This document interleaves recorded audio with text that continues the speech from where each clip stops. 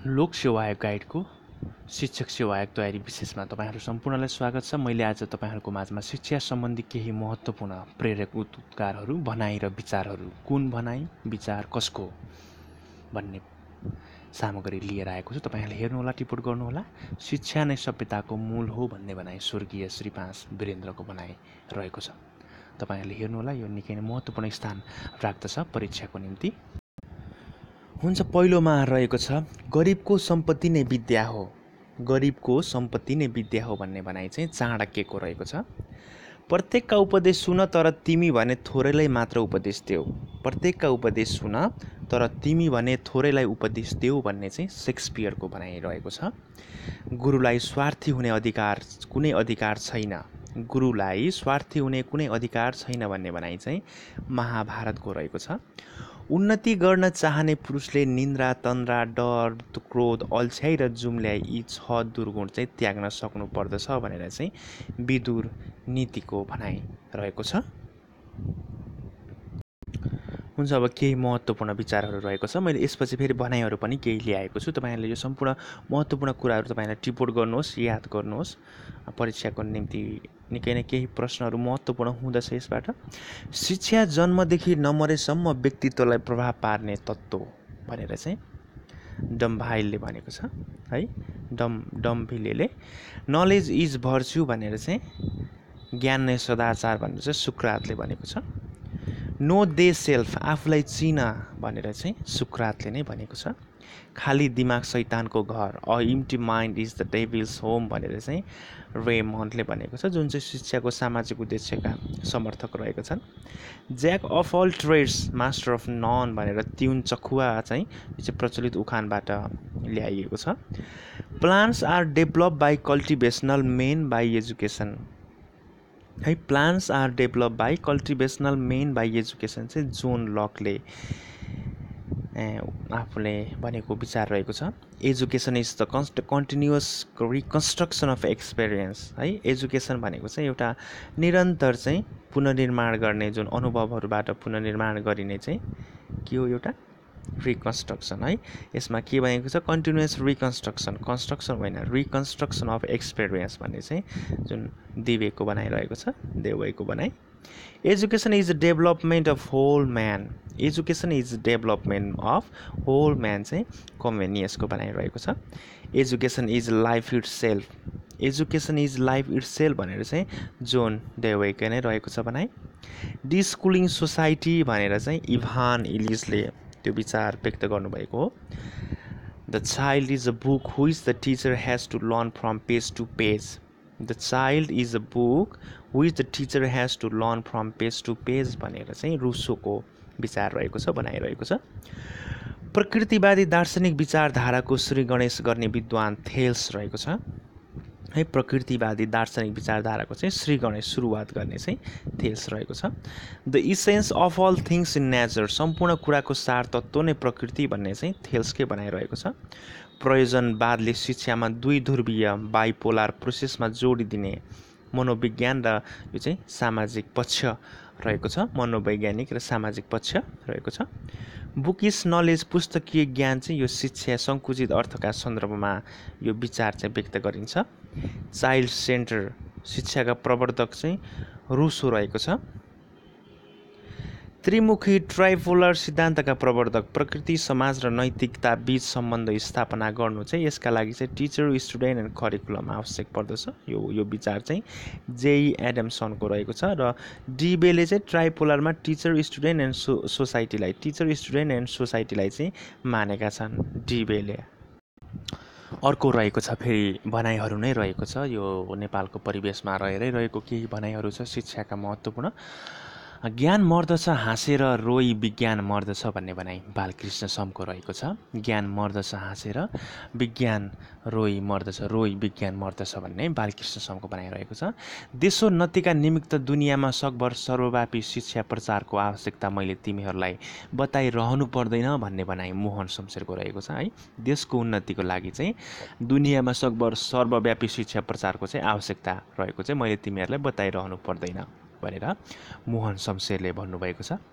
मेरो बोल्ने मुखलाई नथुन मेरो बोल्ने मुखलाई नथुन आउने समाजको आह्वान गर्छ मेरो मुखले मेरो लेख्ने कामलाई नथाम सत्यलाई इङ्गित गर्छ मेरो कलमले मेरो गोडामा नेल नलगाऊ नयाँ बाटोलाई पहिल्याउँदैछ मेरो गोडाले भन्ने भनाइ चाहिँ स्वर्गीय विश्वेश्वर प्रसाद कोइराला बिपी कोइरालाको रहेको छ। कति राम्रो बनाइरहेको छ है। मेरो बोल्ने मुखलाई नथुन आउने समाजको आह्वान गर्छ मेरो मुखले।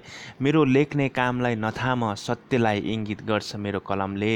मेरो गोडामा नेल नलगाऊ नयाँ बाटोलाई पहिल्याउँदैछ मेरो गोडाले भनेर चाहिँ स्वर्गीय बिपी कोइरालाको भनाइरहेको छ। भुल गर्नु पनि ज्ञान प्राप्त गर्नु हो। है हामीले धेरै भुलहरूबाट नै हामीले धेरै कुराहरू सिकिरहेका हुन्छौँ। जस्तो अघि भन्यो रिकन्स्ट्रक्सन अफ एक्सपिरियन्स है भुल गर्नु पनि ज्ञान प्राप्त गर्नु हो भने चाहिँ शुक्रराज शास्त्रीको रहेको छ सहित। पढ्यो गुन्यो केही न काम हलो जोत्यो खाएमा भन्ने चाहिँ यो ने यो नेपाली उखानबाट लिएको छ। अस्पताल स्कुल घर बनाउनु पनि घर बनाउनु जस्तै हो तापनि यी काममा खर्च भएको धनलाई चाहिँ मुलुकको मूलधन भन्नुहुन्छ भनेर चाहिँ जय पृथ्वीबहादुर सिंहको भनाइरहेको छ। कला भनेको सृजनात्मक कल्पनाद्वारा सत्यको सुन्दर प्रकाशन हो। कला भनेको चाहिँ सृजनात्मक कल्पनाद्वारा सत्यको सुन्दर प्रकाशन हो भन्ने भनाइ चाहिँ महाकवि लक्ष्मी प्रसाद देवकोटाको रहेको छ। लगनबाट ज्ञान प्राप्त हुन्छ लगनको अभावमा ज्ञान हराउँछ भन्ने भनाइ चाहिँ गौतम बुद्धको रहेको छ। अरूका कुरा छाडा आफ्ना छोरालाई अङ्ग्रेजी पढाऊ भन्ने भनाइ चाहिँ जङ्गबहादुर राणाको रहेको छ। अरूका कुरा छाडा आफ्ना छोरालाई चाहिँ अङ्ग्रेजी पढाऊ भन्ने चाहिँ जङ्गबहादुर राणाको भनाइरहेको छ। शिक्षाको उज्यालो घामबाट कुनै पनि बालबालिकाले वञ्चित हुन नपरोस् भन्ने यो चाहिँ नारा रहेको छ।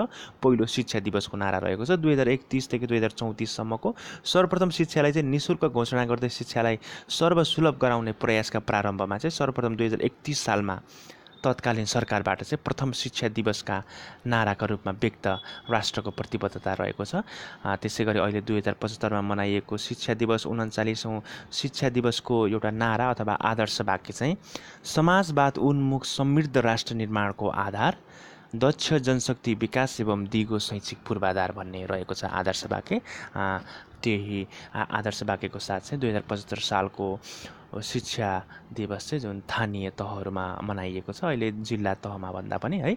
समाजवाद उन्मुख समृद्ध राष्ट्र निर्माणको आधार दक्ष जनशक्ति विकास एवं दिगो शैक्षिक पूर्वाधार भन्ने चाहिँ आदर्श वाक्यको साथमा दुई हजार पचहत्तरको मनाइएको छ। तपाईँहरूले टिपोट गर्नुहोला याद गर्नुहोस्। शिक्षा नै सभ्यताको मूल हो भन्ने चाहिँ श्री पाँच वीरेन्द्रको भनाइरहेको छ। देशको मूल समस्या दरिद्रता हो र त्यसको कारण अज्ञानता नै हो भन्ने चाहिँ श्री पाँच वीरेन्द्रकै भनाइरहेको छ। सबले इलम सिक्की विद्या पढी जान्ने भई अरूलाई हाँकी होस्टे भन्ने हुन् हुनु भन्ने चाहिँ जय पृथ्वीबहादुर सिंहको भनाइरहेको छ। कलेज खुल्नाले परिणाममा नेपालको राणाको असल होला भन्ने म त देख्दिनँ भन्ने भनाइ चाहिँ चन्द्र शमशेरको रहेको छ। भाषाको आविष्कार गरेपछि मात्र दोपाया जन्तु मनुष्य पदवीमा पुग्न आएको हो भन्ने भनाइ बाबुराम आचार्यको रहेको छ। भाषाको आविष्कार गरेपछि मात्र दोपाया जन्तु मनुष्य चाहिँ पदवीमा पुग्न आएको हो भन्ने भनाइ चाहिँ बाबुराम आचार्यको रहेको छ र कलम तरबारभन्दा बलियो हुन्छ भन्ने चाहिँ बुलबरको भनाइ रहेको छ। कलम तरबारभन्दा बलियो हुन्छ भन्ने भनाइ चाहिँ बुलबरको रहेको छ। र अर्को एउटा मैले तपाईँलाई थप्न मन लाग्यो मानिसको शिक्षा चाहिँ कोर्कोबाट आरम्भ भयो। है कोर्को जुन त्यो सानो बच्चालाई जन्मिने बित्तिकै राख्ने होइन? त्यो कोर्कोबाट आरम्भ भई चिहानमा गएर अन्त्य हुन्छ भन्ने भनाइ चाहिँ टी कोनानको रहेको छ। यो पनि तपाईँहरूले याद गर्नुहोस्। है मानिसको शिक्षा चाहिँ कोर्कोबाट आरम्भ भई चिहानमा गएर अन्त हुन्छ भन्ने चाहिँ टी कोनानको बनाइरहेको छ र समय सबैभन्दा ठुलो शिक्षक हो भन्ने भनाइ ओको रहेको छ है ओरको। समय चाहिँ सबैभन्दा ठुलो शिक्षक हो भन्ने भनाइ चाहिँ ओरको रहेको छ। तपाईँहरूले यो पनि याद गर्नुहोस्। र अर्को पनि म तपाईँहरूलाई महत्त्वपूर्ण जोड्न कोसिस गर्छु।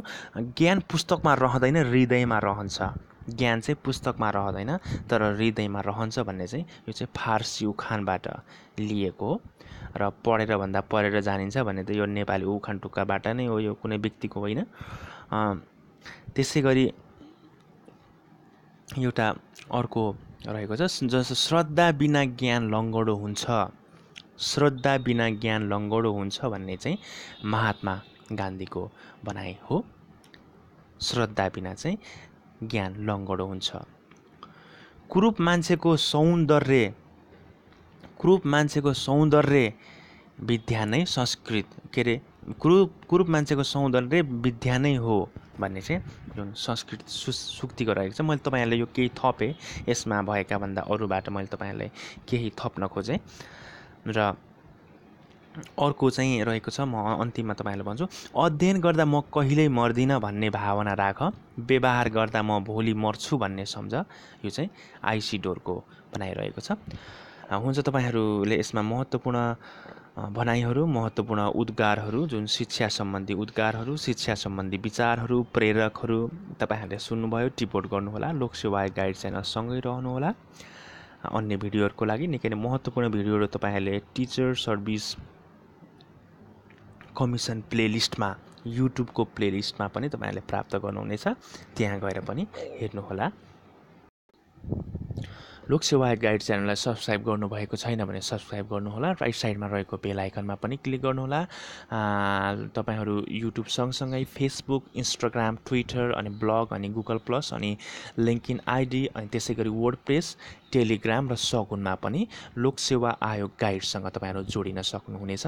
लोकसेवा आयोग गाइड भनेर तपाईँहरूले सर्च गर्नुभयो भने यी सबै सामाजिक सञ्जालहरूमा तपाईँले भेट्न पाउनुहुन्छ। विभिन्न महत्त्वपूर्ण जानकारीको लागि यी सबै सामाजिक सञ्जालहरू निकै नै महत्त्वपूर्ण स्थान राख्दछ। हुन्छ धन्यवाद।